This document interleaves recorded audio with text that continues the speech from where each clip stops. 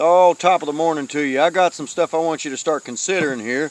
I don't believe it's a salvational issue, but it's definitely some food for thought in meditating and considering the scriptures. Check this out. A lot of folks out there want to say that Enoch is not in the heavenly kingdom or the heavenly realm, one of those like the third heaven out there where where the Father's at or where um, where Jesus is at maybe. And we know that he's sitting on the right hand of the Father. But let me read you something. Consider this, will you?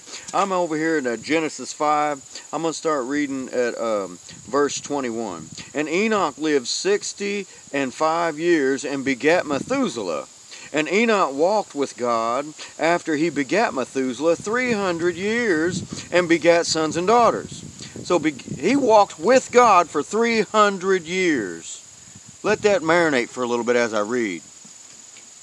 And all the days of Enoch were six, 360 and five years. And Enoch walked with God. See, he goes on to say it again. He walked with God and he was not, for God took him.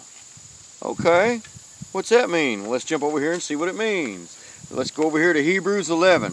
Hebrews 11, the Bible says go here a little and there a little. So we just went from the Old Testament to the New Testament, right? From the Old Covenant to the New Covenant. Check it out. And there's still this man we're talking about, Enoch. It says Hebrews 11 and verse 5 says, By faith Enoch was translated. That he should not see death. And he was not found because God had translated him for before his translation, he had this testimony that he pleased God. But without faith, it is impossible to please him. For he that cometh to God must believe that he is, and that he is a rewarder of them that diligently seek him. Now, yes, Jesus was the first fruits of the grave. But I'm telling you, Enoch was translated. God translated him into the spiritual realm that he did not see death. So that would still make Jesus the first fruits of the grave. Y'all have a good day.